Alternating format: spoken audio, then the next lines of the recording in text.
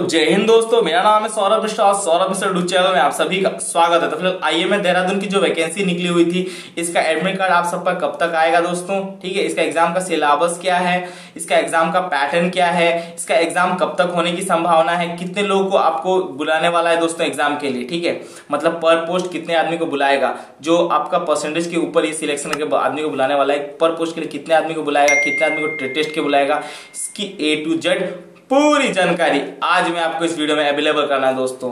तो उससे पहले, अगर आप इस चैनल पर न्यू आए हो दोस्तों तो इस चैनल को सब्सक्राइब कर देना वीडियो को लाइक कर दोस्तों, और वीडियो को शेयर करना मत भूलना, क्योंकि ऐसी इन्फॉर्मेटिव वीडियो सौरभ मिश्रा भाई आप सबके लिए लाते रहता है दोस्तों। तो ये जो आपका आई एम देहरादून की वैकेंसी निकली हुई है, इसके बारे में मैं अच्छी चीज़ आपको बता दूँ कि ग्रुप सी की भर्ती है। इसमें जितना भी क्वेश्चन आने वाला है, ठीक है, सिर्फ़ एलडीसी को छोड़ के, और जितना भी आपका एग्ज़ाम होगा सारे टेंथ लेवल के ही आने वाले हैं दोस्तों, जैसे ग्रुप डी एस एस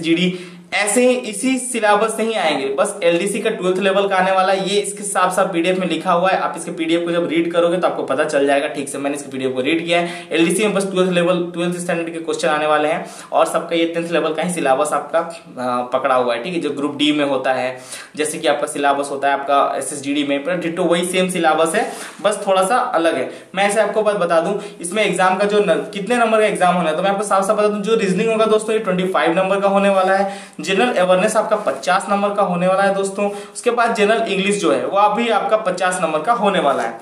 उसके बाद बात कर लेते हैं मैथ का दोस्तों। मैथ आपका 25 नंबर का होने वाला है। इन सब के लिए आपको टू आवर्स का टाइम मिलेगा। मतलब दो घंटा का आपको टाइम मिलने वाला है। तो आप आराम से बैठ के आराम से इसको कर सकते हो। जो इसका सिलेबस मैं आपको साफ़ साफ़ बता दूँ रीजनिंग का जो 25 नंबर का है, आप कोई भी आर्यन का बुक ले सकते हो एसएससी सीएचएसएल वाला। अगर आप वो एक बार पढ़ लेते हो तो ये आपका 25 पूरा आराम से आपका क्रैक हो जाएगा। जनरल अवेयरनेस का है तो आप लूसेंट का बुक खरीद सकते हो, जो ये पचास नंबर का है। आराम से उस बुक से आप कवर कर सकते हो। कोई भी आपको प्रॉब्लम नहीं लूसेंट का बुक आप ले सकते हो। इंग्लिश और हिंदी दोनों में अवेलेबल है। उसके बाद जनरल इंग्लिश तो दोस्तों, ये जो इंग्लिश है, ये इंग्लिश में ही आएगा दोस्तों, ठीक है? ये हिंदी और इंग्लिश दोनों ग्रामर आप नहीं कर सकते हो, आपको सिर्फ़ इंग्लिश ही करना है दोस्तों।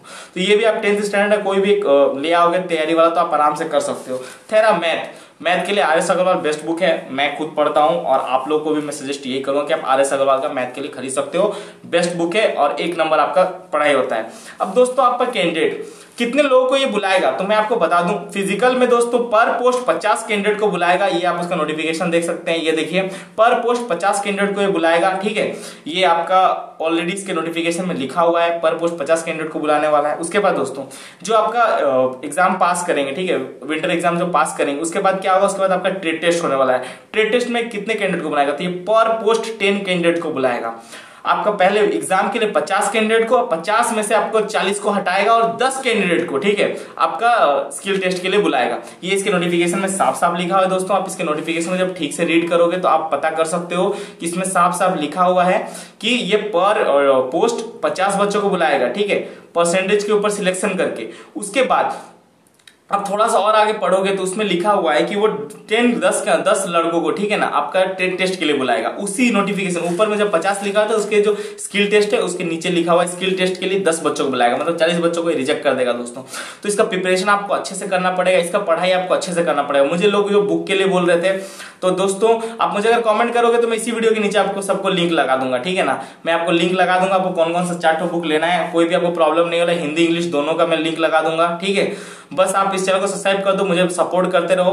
इसका एग्ज़ाम पैटर्न बहुत ही सिंपल है, ठीक है? मैं आपको सब कुछ प्रोवाइड करा दिया है, वैसे मैं आपको जो बता रहा था, बता दिया है। इसका कुछ हार्ड नहीं है, और जो पर पोस्ट है, पचास कैंडिडेट को बुलाएगा। इसका एडमिट कार्ड कब तक आने वाला है दोस्तों? सबसे बड़ी चीज़, ठीक है? इसका एडमिट कार्ड कब तक आएगा? देखिए दोस्तों, कोई कंफर्मेशन नहीं रहता ऑफलाइन की एडमिट कार्ड कब तक आएगा। लेकिन जो भी ऑफलाइन की भर्ती ऑनलाइन की भर्ती होती है ना दोस्तों तो कुछ दिन में एडमिट कार्ड कब तक आता है? तो हम लोग इतना पता रहता है कि ये करीबन दो महीना, तीन महीना में एडमिट कार्ड आ सकता है। वैसे ही ऑफलाइन भर्ती का भी एक सीमा होता है दोस्तों थ्री मंथ या फोर मंथ के अंदर एडमिट कार्ड आ जाता है ऑफलाइन की, जो रेगुलर भर्ती है। जैसे आई एम देहरादून की थी तो इसमें आपका थ्री से फोर मंथ के अंदर आपका एडमिट कार्ड आ जाएगा तो उसका आपको टेंशन लेने की कोई भी ज़रूरत नहीं है। अभी फॉर्म फिलअप चालू है। जब ये फॉर्म फिलअप खत्म हो जाएगा तो फोर मंथ या थ्री मंथ के अंदर आपका एडमिट कार्ड आना आपका चालू हो जाएगा। बाई पोस्ट आपका एडमिट कार्ड आएगा तो उसका आपको टेंशन लेने की कोई भी ज़रूरत नहीं है। और भी, इसके रिलेटेड और भी अगर आपको कुछ प्रॉब्लम होता है तो आप मुझे कमेंट कर सकते हैं दोस्तों। परसेंटेज के ऊपर लोग सिलेक्शन करके ए पर पोस्ट पचास कैंडिडेट को बुलाएँगे दोस्तों। और उसके बाद जो इसका स्किल टेस्ट होगा, उसमें दस कैंडिडेट को लोग बुलाएँगे। मतलब पचास से चालीस हटा देंगे एग्ज़ाम में और दस कैंडिडेट को आपका स्किल टेस्ट के लिए बुलाएँगे, ठीक है? वही आपका पैटर्न है सिंपल सी कोई कोई फ़िज़िकल नहीं है कोई हाइट का आपको कोई ज़रूरत नहीं है। आप अगर नॉर्मल में भी हो कोई हाइट कोई चेस्ट नहीं है, आपको आर्मी ज्वाइन करने की इच्छा है तो आप आराम से आई एम देहरादून की फॉर्म अप्लाई कर सकते हो दोस्तों और अपना नौकरी पक्का कर सकते हो।